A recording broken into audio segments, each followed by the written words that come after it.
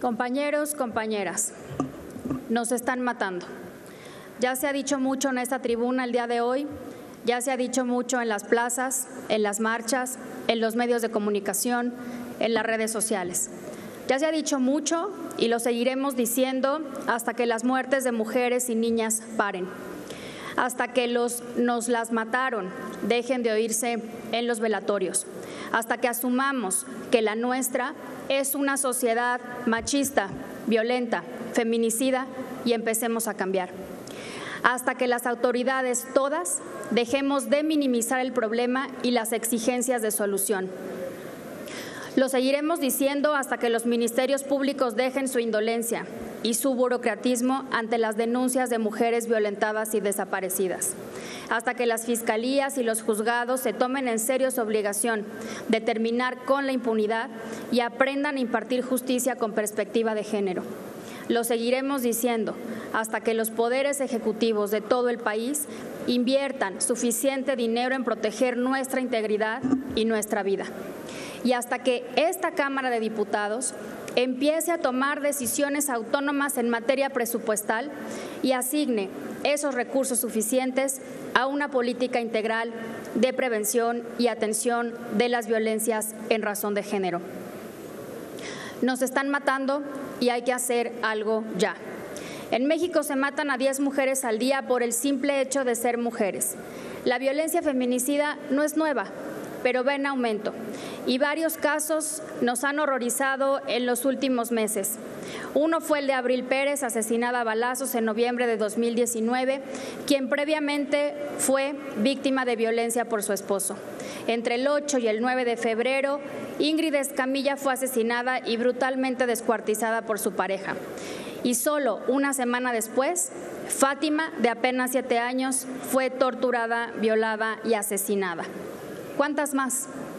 Somos una sociedad enferma que lastima y mata. ONU Mujeres expresó así respecto al asesinato de Fátima. Abro comillas. El feminicidio de una niña es el fracaso de una sociedad. Es un motivo de vergüenza para todos y un obstáculo central para el desarrollo igualitario, sostenible e inclusivo. Pongamos manos a la obra desde esta Cámara.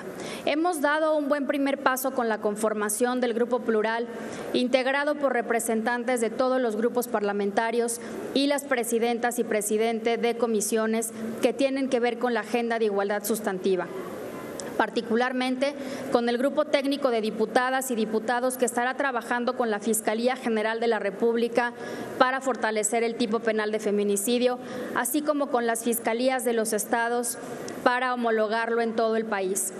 El diálogo entre el fiscal general de la República y este grupo plural de diputadas no solo conjuró la idea de desaparecer el delito de feminicidio, sino que esperamos resulte en una dinámica de colaboración que dé resultados tangibles a la brevedad.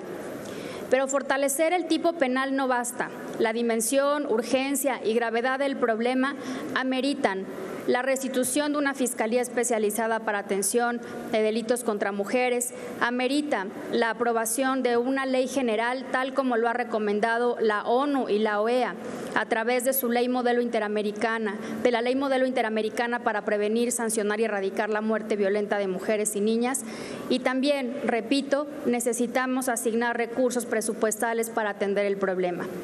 Quiero terminar, compañeras y compañeros, haciendo un llamado a la unidad. La solución a la violencia feminicida nos convoca a todas y todos. Y es responsabilidad también de todos, de alcaldes, de gobernadores, del presidente de la República, de las fiscalías, del Poder Judicial, del Poder Legislativo, de todos los poderes y de todos los órdenes de gobierno. Recuerdo ahora ese coro lapidario del himno feminista Un violador en tu camino. Y la culpa no era mía, ni dónde estaba, ni cómo vestía. El violador eras tú. Son los pacos, son los jueces, el Estado.